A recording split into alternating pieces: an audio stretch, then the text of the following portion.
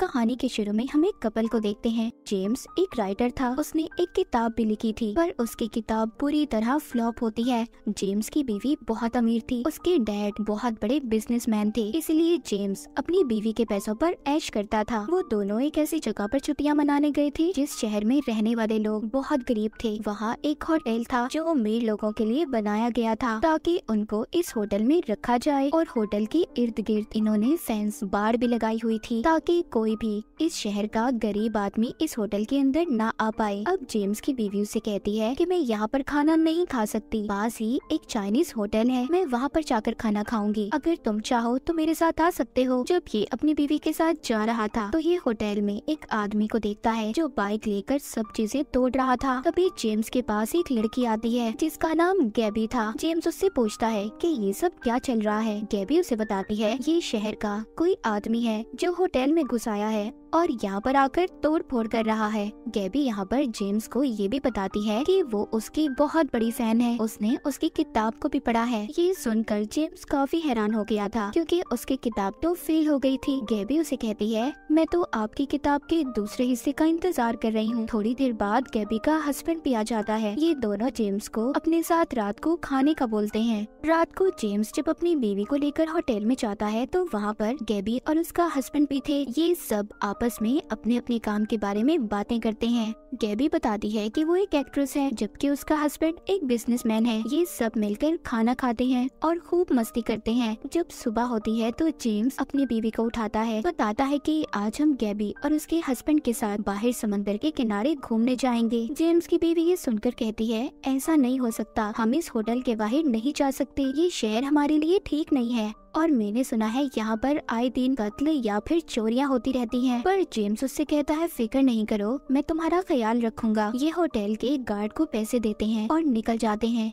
जब ये समंदर के किनारे पर थे तो जेम्स जब अकेला था तो गैबी उसके पास जाती है। जेम्स ये देखकर काफ़ी हैरान हो गया था। वो सोचता है कि गैबी का उसकी तरफ़ बहुत ध्यान है। वापस जाते हुए सब लोगों ने बहुत शराब पी ली थी। सब नशे में थे, सिवाय जेम्स के। इसीलिए वो गाड़ी चलाता है। पर गाड़ी चलाते हुए उसे भी नींद आ रही थी। अचानक से उसकी आँखें बंद हो जाती हैं तो एक आदमी उसकी गाड़ी के आगे आ गया था। जब ये बाहर जाकर देखते हैं तो वो आदमी मर चुका था। जेम्स की बीवी ये सब देखकर काफ़ी परेशान हो गई थी। वो जेम्स से कहती है कि हमें पुलिस को इस बात के बारे में बता देना चाहिए, पर गैबी उन्हें मना करती है। कहती है, यहाँ की पुलिस बहुत खतरनाक है। वो मुजरिम को पकड़कर उनके साथ बहुत बुरा सलूक करती है। जेम्स और उसकी बीवी ये सब सुनकर डर जाते हैं। इसीलिए वो किसी को कुछ भी नहीं बताते और होटल में वापस आ जाते हैं। सुबह को जेम्स की जब आँख खुलती है तो वो बहुत ज़्यादा थका हुआ था। तभी उसके दरवाजे पर बेल बजती है। जब ये जाकर देखता है तो बाहर आर्मी खड़ी थी जो इनको पकड़ने आई थी। वो इसे और इसकी बीवी को पकड़कर ले जाते हैं ताकि इन दोनों से उस आदमी के बारे में पूछताछ कर सके, जिसका इनकी गाड़ी से एक्सीडेंट हुआ था। पूछने पर जेम्स की बीवी सबको सच बता देती है कि उसके हस्बैंड से उस रात उस आदमी की मौत हुई। जेम्स को अलग रखा गया था। उसके पास एक ऑफिसर आता है, जो उसे बताता है कि तुम्हारी बीवी ने तुम्हारे गुनाह कबूल कर लिए हैं। जेम्स कहता है, मुझे क्या सजा मिलेगी? ऑफिसर कहता है, तुम्हारी सजा सिर्फ़ मौत है। जेम्स रोता है। कहता है, मैं इतनी जल्दी नहीं मरना चाहता। ऑफिसर कहता है, तुम्हें मरने को कौन कह रहा है? सजा मिलेगी, पर तुम्हें नहीं, तुम्हारे क्लोन को, तुम्हारे हम शक्ल डुप्लीकेट इंसान को। जेम्स उससे पूछता है, ऐसा कैसे हो सकता है? ऑफिसर कहता है, पैसों से सब कुछ हो सकता है। हम इंसान के क्लोन्स बनाते हैं जिससे उसे सजा मिल जाती है। असल इंसान को नहीं, और जो असल मुजरिम होता है, वो बच जाता है। ये सब बातें सुनकर ऑफिसर की जेम्स एटीएम जाता है। बहुत सारे पैसे लाकर ऑफिसर को दे देता है। फिर ये लोग जेम्स का नाप लेते हैं और उसे तैयार करके एक कमरे में भेज दिया जाता है, जहाँ पर एक अलग तरह का लिक्विड था जब वो बढ़ने लगता है। तो उसका एक लॉन तैयार हो जाता है। जेम्स की जब आँखें खुलती हैं तो उसके सामने उसकी बीवी थी जो उसको बता रही थी कि तुम्हारा क्लॉन बन गया है, जो बिल्कुल तुम्हारी तरह लगता है। अब ये उसे अपने साथ ले जाती है, जहाँ पर जेम्स का का क्लोन था। जेम्स अपने ही जैसे इंसान, यानी कि अपने हम शक्ल को देखकर हैरान था। जो बिल्कुल उसकी तरह था, वो बोल सकता था, सांस ले सकता था। अब जेम्स के क्लोन को सजा दी जानी थी, जहाँ पर सब लोग जमा थे, जो उसकी सजा को देखने आए थे। सजा उस आदमी के बेटे ने देनी थी, जिसको जेम्स ने मारा था। वो बच्चा आकर जेम्स के क्लोन को मार देता है। इस तरह असल जेम्स के सर से खून माफ़ हो गया था। जेम्स अब ये सोचता है, ऐसा क्या है इस शहर में? कैसे हो सकता है ऐसा। जब ये वापस होटल जाकर अपना सामान पैक करते हैं, क्योंकि जेम्स की बीवी अब यहाँ पर रहना नहीं चाहती थी, वो इन सब बातों से डर चुकी थी। मगर तब जेम्स का पासपोर्ट नहीं मिलता। वो होटल की काउंटर लेडी के पास जाता है और कहता है, क्या मेरा पासपोर्ट आपके पास है? वो कहती है, नहीं। पर हाँ जब तक आपका पासपोर्ट नहीं मिल जाता, मैं आपके ट्रिप को एक हफ़्ते और बढ़ा सकती हूँ। जेम्स उसे हाँ बोलकर चला जाता है। तभी वहाँ पर गैबी आती है, जो जेम्स से बात करना चाहती थी, पर जेम्स उसकी बात सुनने को तैयार नहीं था। खैर, गैबी के बहुत कहने पर वो बैठकर अब उसकी बात सुनता है। गैबी बताती है कि मेरे हस्बैंड की कंपनी का काम चल रहा था। तो इसी दौरान दो आदमी एक हादसे की वजह से मारे गए। उनकी मौत का इल्ज़ाम मेरे हस्बैंड के सर पर लगा। उन्हें पकड़ लिया गया और मौत की सजा मिली। तभी हमें यहाँ पर ये बात पता चली कि अगर यहाँ की गवर्नमेंट को पैसे दें तो वो मुजरिम की क्लोन बना देती है, जो सजा क्लोन को मिलती है। और असल मुजरिम रिहा हो जाता है। गैबी कहती है, हमारे जैसे और भी बहुत से लोग हैं जिनके साथ ये सब कुछ हो चुका है। अब वो जेम्स को अपने साथ लेकर जाती है और उन लोगों से मिलवाती है। इनका एक छोटा सा ग्रुप था और इन्हें यहाँ पर रहकर ये सब करने में मज़ा आ रहा था। मतलब वो किसी भी आदमी को मारते, फिर पैसे देकर अपने क्लॉन बनवाते, उसको सजा दिलवाकर खुद बच जाते थे। कैबी सबको जेम्स से मिलवाती है। ये सब प्लान करते हैं जिस होटल में ये रह रही है। यहाँ के मालिक का घर पहाड़ के ऊपर है। क्यों न हम वहाँ पर जाकर उसको सबक सिखाए। जेम्स सुनकर कहता है, ये सब ठीक नहीं है, पर ये सब उसे मना लेते हैं। जिसके बाद ये एक दुकान का शीशा तोड़कर दुकान के अंदर जाकर वहाँ से अपने लिए मास्क लेते हैं। फिर ये होटल के मालिक के घर जाकर उसके घर की बेल बजाते हैं। जब एक लेडी दरवाज़ा खोलती है तो ये उसे पकड़ लेते हैं और बाकी सबको भी बंदी बना लेते हैं। तभी वहाँ पर होटल के मालिक का गार्ड आता है, जो सब पर गोलियाँ चला रहा था। तभी कैबी जेम्स के हाथ में बंदूक देती है और कहती है कि सबको मार दो। इसी उसमें एक गोली होटल के मालिक को लग जाती है। वो मर चुका था। कैबी का एक साथी भी जख्मी था। जब ये उसका इलाज करने एक कमरे में जाते हैं, जहाँ पर पुलिस आकर सबको पकड़ लेती है। पुलिस ऑफिसर इनके पास आता है और कहता है ये लोग बहुत जुर्म कर चुके हैं और उन्होंने इनके बहुत से क्लॉन्स बनाए हैं। अब और ज़्यादा इनके क्लॉन्स नहीं बना सकते। अब ऑफिसर इन सबको एक कमरे में ले जाता है, जहाँ सबके गले काट कर उन्हें सजा दी जाती है। तभी हम देखते हैं वहाँ पर बैठे कुछ लोग तालियाँ बजा रहे थे। और वो कोई और नहीं, बल्कि गैबी और जेम्स के ग्रुप के लोग थे, जो अपने क्लोन्स को मरता हुआ देख रहे थे। जेम्स को भी अब इनके साथ ही काम करने में मज़ा आ रहा था। जब ये होटल में जाता है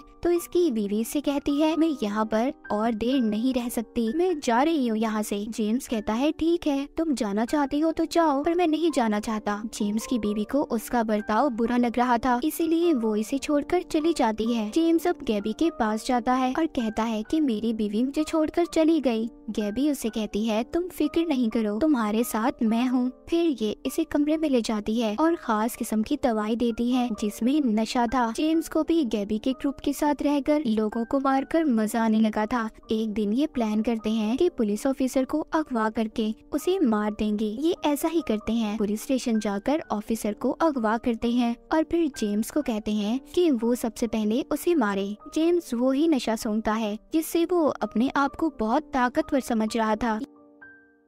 ये ऑफिसर को बहुत मारता है। जब गैबी उस ऑफिसर के मुँह से कपड़ा हटाती है तो वो ऑफिसर नहीं, बल्कि जेम्स का डुप्लीकेट क्लोन था। गैबी कहती है, हम तो सिर्फ़ तुम्हारे साथ मज़ाक कर रहे थे। ये बात जेम्स को बहुत बुरी लगती है। वो अपने आप को एक कमरे में बंद कर लेता है और सोचता है ये तो बहुत खतरनाक ग्रुप है, जो उसे तो कुछ भी नहीं समझते। वो लोग सिर्फ़ उसका इस्तेमाल कर रहे हैं। ये खुद को कमरे में बंद करके फिर अपना पासपोर्ट वॉशरूम से निकालता है, जो इसने वहाँ पर खुद ही छुपाया था। ताकि वो यहाँ पर रुक सके। पर अब वो वापस जाना चाहता था। वो अपना पासपोर्ट लेकर एक बस में बैठ जाता है, ताकि ये बस उसे एयरपोर्ट छोड़ दे। जब ये बस में बैठकर जा रहा था तो देखता है गैबी और उसके साथी अपनी गाड़ी में इसका पीछा कर रहे थे। गैबी उसे बंदूक दिखाकर कहती है कि बस से नीचे उतरो। जब जेम्स उसकी बात को नहीं मानता गैबी उस बस के आगे आकर ड्राइवर से कहती है कि उन्हें जेम्स चाहिए। अब जेम्स बस से नीचे उतर जाता है। गैबी और उसके साथी जेम्स को पैदल ही होटल तक चलाते हैं। जेम्स को उनका ऐसा बर्ताव बिल्कुल पसंद नहीं आ रहा था।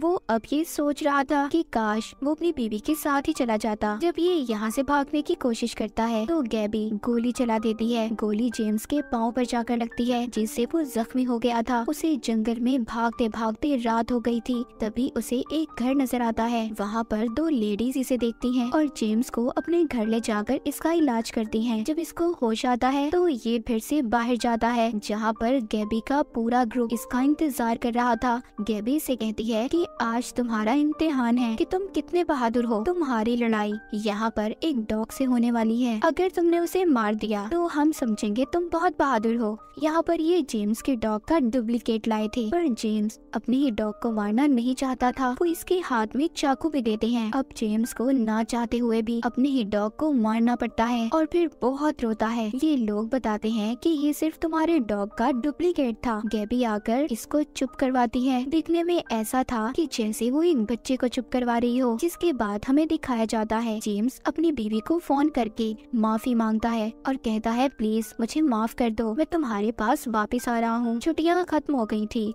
सब लोग अपने घर जाने के लिए निकल गए थे। ये सब एक दूसरे से बात कर रहे थे कि उनकी छुट्टियाँ कैसी रही। पर जेम्स किसी से बात नहीं कर रहा था। फिर ये सभी एयरपोर्ट पर जाकर अपनी अपनी फ्लाइट्स पकड़कर चले जाते हैं। पर तभी हम जेम्स को देखते हैं, जो अभी भी यही एयरपोर्ट पर था। वो अपनी गाड़ी पकड़ता है और वापस से होटल में चला जाता है। कहानी के आखिर में हमें दिखाया जाता है कि वो अकेला ही बैठा होटल में बारिश के मज़े ले रहा था। उसे देखकर ऐसा लगता था कि उसे इस शहर, इस होटल में मज़ा आने लगा था। जेम्स शायद अभी भी इन सदमों में था कि उसके साथ ये सब कुछ हुआ क्या था। तो ये कहानी एक ऐसे शहर के बारे में थी, जहाँ पर अगर कोई इंसान गुनाह करता तो उसको, उसके गुनाह के मुताबिक सजा दी जाती थी। पर अमीर लोग पैसे से अपने क्लोन्स बनवाकर सजा को माफ़ करवा लेते थे। जहाँ पर हमें ये भी बताया गया है कि अगर इंसान के पास पैसा हो तो वो क्या कुछ नहीं कर सकता। अपने बड़े से बड़ा गुनाह भी माफ़ करवा सकता है, जैसा जेम्स ने किया था। और इसी के साथ ये कहानी यहीं पर खत्म हो जाती है।